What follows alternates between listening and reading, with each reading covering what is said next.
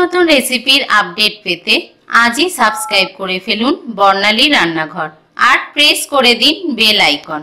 তাহলে আমার চ্যানেলের কোনো ভিডিও আপনারা মিস করে যাবেন না।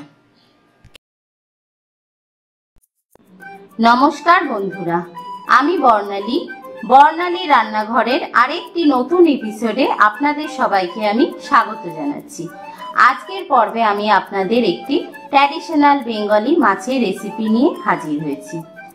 এই রেসিপিটা খুবই পরিচিত আর পপুলার রেসিপি গরম ভাতের সঙ্গে এর স্বাদ একেবারে অমৃত সমান। আর এটা আমি একেবারে ট্র্যাডিশনালভাবে বানিয়ে দেখিয়েছি খুবই সহজ পদ্ধতিতে। চলুন তাহলে এই অসাধারণ মাছের প্রিপারেশনটা কীভাবে বানাতে হয় আমরা দেখে নিই। পার্শে মাছের ঝাল বানানোর জন্য চার পিস আমি পার্শে মাছ নিয়েছি, বেশ বড় সাইজে। এই সাইজে পার্শে মাছ দিয়ে পার্শে মাছের ঝাল করলে খুব ভালো হয়। মাছটা ভালোভাবে ধুয়ে নিয়ে, জল ঝরিয়ে নিয়েছি। আর স্বাদ অনুযায়ী নুন, সামান্য একটু হলুদ গুঁড়ো আর সামান্য একটু সর্ষের তেল দিয়ে খুব ভালোভাবে মেখে রেখেছি। আর রান্না হওয়ার আগে এটা অন্তত আমি 10 মিনিট রেখে দেব, যাতে মাছের মধ্যে ভালোভাবে নুন, হলুদ ঢুকে যায় আর মাছের টেস্টটা অনেক বেশি ভালো হয়। ফোড়নের জন্য নিয়েছি আমি ওয়ান ফোর চা চামচ মেথি আর একটা আস্ত শুকনো লঙ্কা। মেথির সঙ্গে শুকনো লঙ্কা ফোড়নটা খুব ভালো হয়, কিন্তু মেথিটা ফোড়ন দেওয়ার সময় খুব সাবধানে দিতে হয়, কেননা মেথি পুড়ে গেলে কিন্তু রান্নার টেস্টটা খারাপ হয়ে যায়। তাই লো ফ্লেমে মেথি আর শুকনো লঙ্কাটা আমরা ফোড়নে ইউজ করব। হাফ চা চামচ আমি হলুদ গুঁড়ো নিয়েছি, দুটো কাঁচা লঙ্কা নিয়েছি ওয়ান টেবিল স্পুন আমি কালো সর্ষে বাটা নিয়েছি। তবে আপনারা চাইলে কালো আর সাদা সর্ষেটা মিক্স করে করতে পারেন, কিন্তু শুধু কালো সর্ষে দিয়ে পাশে মাছের ঝাল করলে টেস্টটা ভালো হয়। আর এর সঙ্গে লাগছে স্বাদ অনুযায়ী নুন।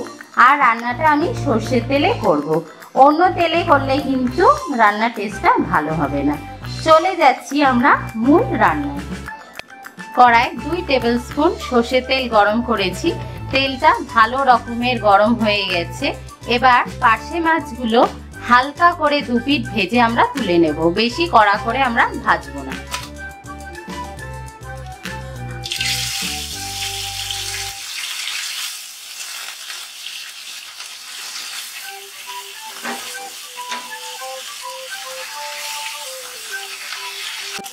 মাছটা দু পিঠ হালকা করে ভেজে নিয়েছি। এর থেকে বেশি আমরা আর ভাজবো না, তাহলে মাছের টেস্টটা খারাপ হয়ে যাবে। এবার মাছগুলো আমরা তেল থেকে তুলে নেব, আর এই একই তেলের মধ্যে আমরা ফোড়নটা দিয়ে দেব। এবার ওই একই তেলের মধ্যে আমরা শুকনো লঙ্কা আর মেথিটা ফোড়ন দেব। অবশ্যই লো ফ্লেমে, বেশি কিন্তু ভাজবো না। মেথিটা বেশি ভাজা হলে তেতো হয়ে যাবে। মেথিটা ভালো ভাজা হয়ে গেছে, এবার এর মধ্যে আমরা জল দিয়ে দেবো এক কাপ।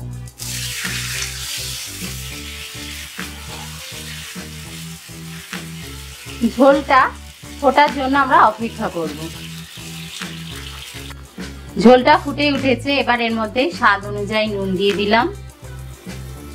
হলুদ নিয়েছিলাম, যেটা হাফ চা চামচ হলুদটা দিয়ে দিলাম। দুটো কাঁচা লঙ্কা চিড়ে নিয়েছিলাম, দিয়ে দিচ্ছি। ভালোভাবে মিক্স করে নেব।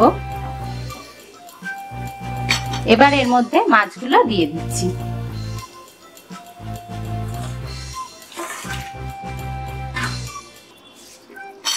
দু মিনিট আমরা মিডিয়াম ফ্লেমে মাছগুলো ফুটিয়ে নেব। দু মিনিট মিডিয়াম ফ্লেমে মাছগুলো ফুটিয়ে নিয়েছি। এবার এর মধ্যে সর্ষে বাটাটা দিয়ে দেব। সর্ষে বাটাটা নামানোর আগে দিলে ভালো হয়, আর তেতো হওয়ারও ভয় থাকে না। তাই সর্ষে বাটা কখনোই তেলের মধ্যে দিয়ে নাড়াচাড়া করবেন না।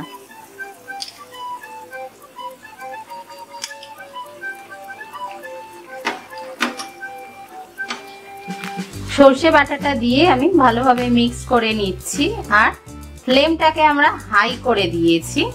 আর এটা জাস্ট দু তিন মিনিট ফোটার জন্য অপেক্ষা করব। তারপরে রান্নাটা রেডি হয়ে যাবে। এই সর্ষে বাটাটা আমি মিক্সিতে বেটেছি আর একটুও তেতো হয়নি।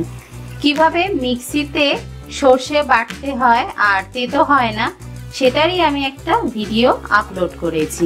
যদি চান তো আপনারা দেখে নিতে পারেন। আর ডেসক্রিপশন বক্সের মধ্যে আমি সেই ভিডিও লিঙ্কটা দিয়ে দেব। এবার আমরা এটা একটু হাই ফ্লেমে ফুটিয়ে নিচ্ছি, দু তিন মিনিট। হাই ফ্লেমে দু তিন মিনিট ফুটিয়ে নিয়েছি, এবার এর মধ্যে এক টেবিল স্পুন কাঁচা সর্ষের তেল দিয়ে দিলাম আর ফ্লেমটা অফ করে দেব।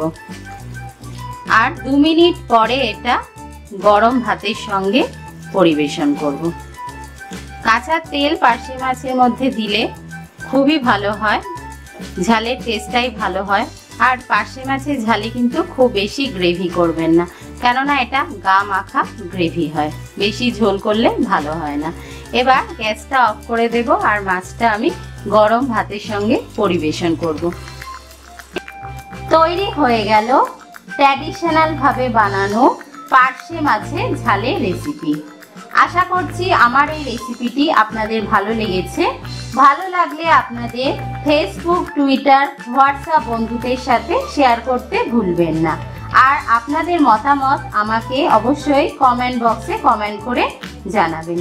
দেখা হবে আবার খুবই তাড়াতাড়ি অনেক ভালো ভালো রেসিপির সঙ্গে। ভিডিওটি দেখার জন্য সবাইকে অনেক ধন্যবাদ। বাই